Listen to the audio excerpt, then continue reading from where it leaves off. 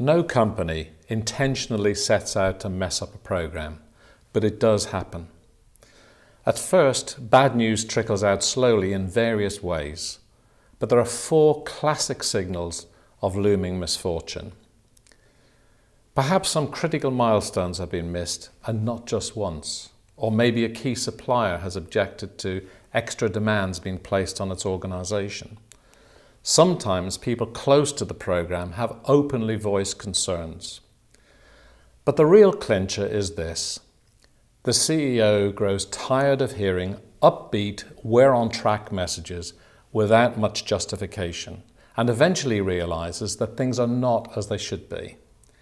In truth, these fears are never unfounded. The situation is always materially worse than anyone had imagined.